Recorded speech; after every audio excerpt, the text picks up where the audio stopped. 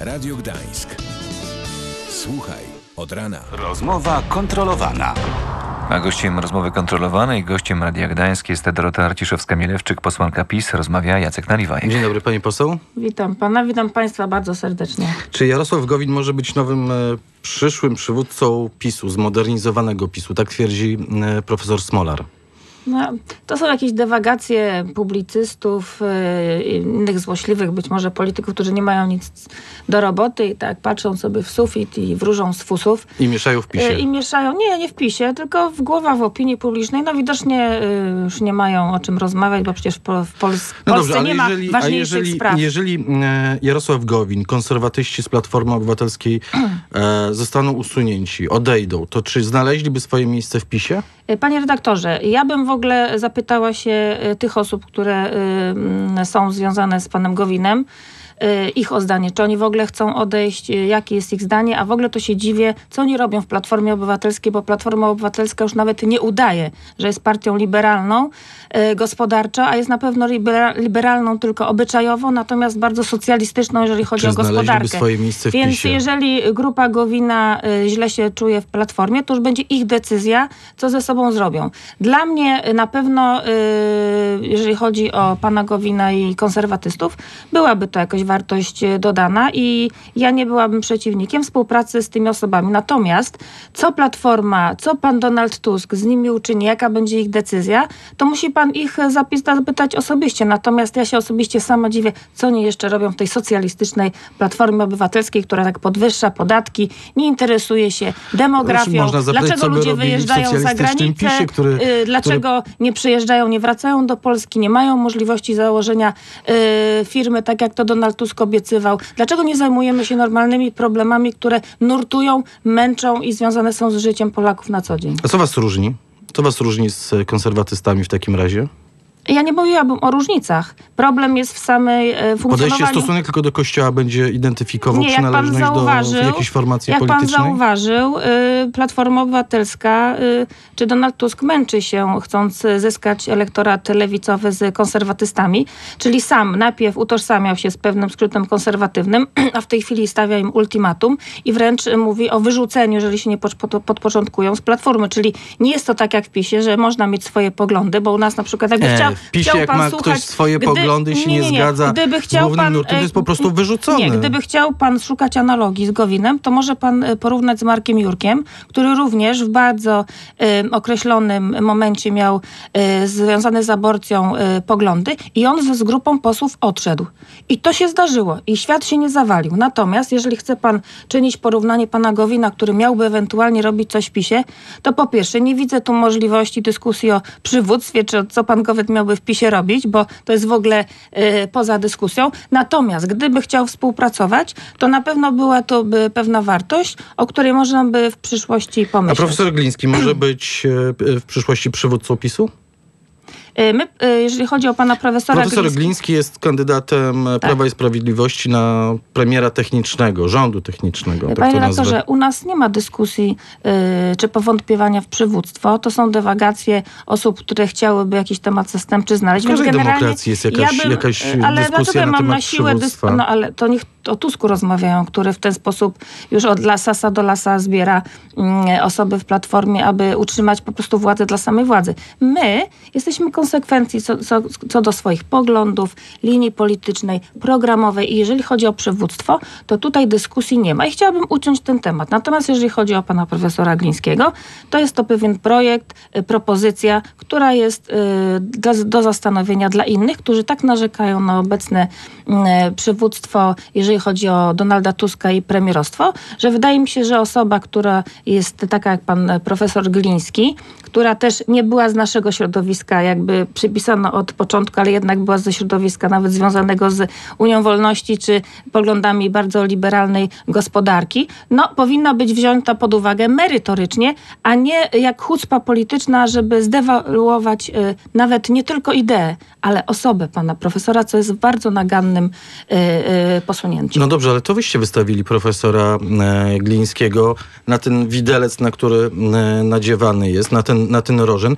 Wiadomo, że e, w z szacunku dla, także dla demokracji, to powiem, nie ma szans rząd techniczny w obecnym układzie parlamentarnym. Na rożen- nie zdobędziecie Na większości, to z nikim nie rozmawiacie. na rożen to wsadzają media pana profesora Glińskiego, ustawiając dyskusję właśnie w taki sposób. Jeżeli ktoś... No dobrze, to wy podpiekacie, jeżeli ktoś, jeżeli, jeżeli ktoś y, w demokracji uważa, że y, wyśmiewa, bądź też wyśmiewa y, projekt, który my proponujemy, jeżeli ktoś w jest demokratycznym państwu wyśmiewa nawet złożenie wotum nieufności, które przepadnie, bo matematyka o tym mówi, Dokładnie. to niech zmieni reguły zasady demokracji, bo każde wotum i każda propozycja tego typu, która jest związana z rządem, yy, gdzie przywódcą miałby być, czy liderem jako premier pan profesor Gliński, jest zwróceniem uwagi i skierowaniem na normalne tory dyskusji w Polsce na temat Polaków, ich życia i tego, Jednym co się słowem, w nie Polsce chcecie dzieje i ma rządu, się, tylko chcecie a nie, dyskutować. a nie o homoseksualnych związkach, który jest tematem tak rzuconym i bardzo łatwym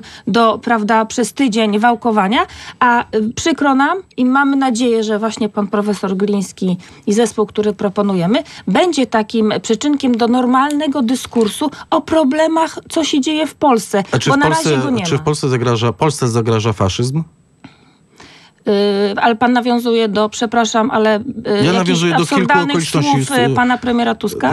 Tak, premier, premier Tusk wypowiedział takie słowa, że, że Polsce e, zagraża faszyzm. Ja przypomnę, że to było po Nie wiem, co miał na, co ma na prób- myśli. próbie zakłócenia e, wykładu profesor Magdaleny Środy na Uniwersytecie Warszawskim.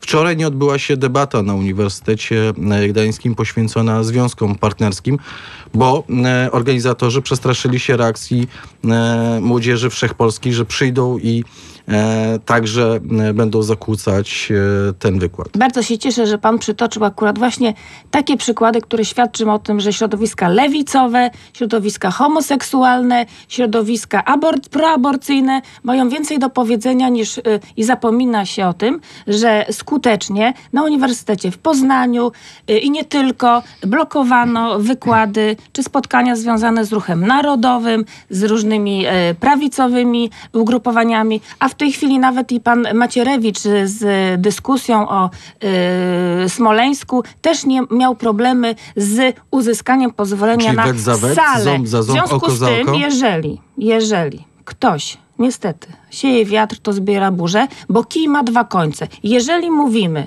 o uniwersytetach, akademiach, szkołach wyższych, to jest to miejsce do dyskusji.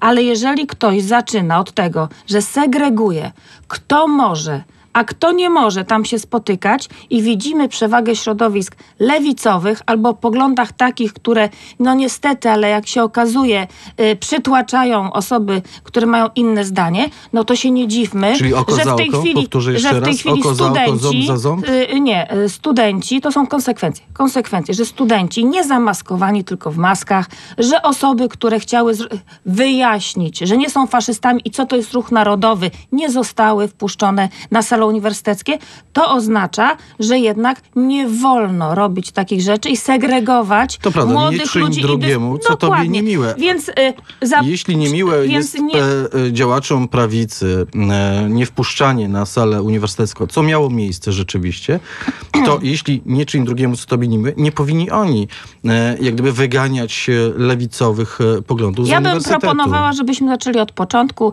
że najpierw te lewicowe środowiska nie chciały y, wpuścić y, środowisk prawicowych, patriotycznych, narodowych, przyklejając im łatkę, y, co jest skandaliczne, y, środowisk faszystowskich. Jeżeli mówimy o ruchu narodowym, to ja specjalnie sobie tutaj wypisałam, żeby Państwu przypomnieć, że narodowcy to nie faszyści, nie odwołują się do Hitlera ani do komunistów, tak jak niektórzy zaczadzeni PRL-em są do dzisiaj, tylko to był Dmowski, to był Henryk Flamme, pseudonim Bardek, to był Rój, pseudonim Rój, pan Mieczysław Dziemiszkiewicz, to był, y, jak powiedziałam, zwią-. Narodowy Sił, Narodowe Siły Zbrojne, Związek Jaszczuczy. Specjalnie sobie wypisałam, żeby mieć czas i szybko móc Państwu tutaj Pani poseł przypomnieć. te nazwiska W z, tym e, żółtych miejmy- kartek. Tak, Będzie miejmy można to zobaczyć w miejmy- internecie, bo jesteśmy filmowani Miejmy w pamięci, będzie. miejmy w pamięci Dobrze, pani poseł, e, czy dokładnie, powiernictwo co to jest polskie jeszcze działa?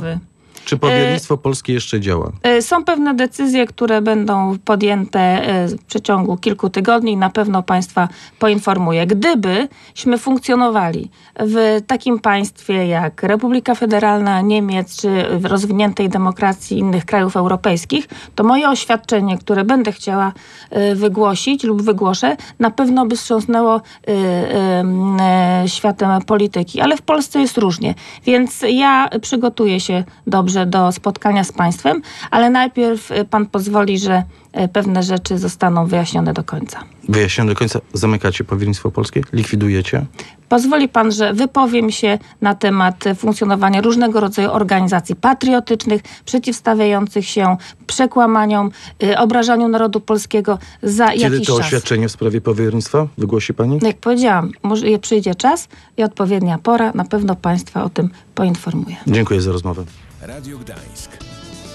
Słuchaj od rana.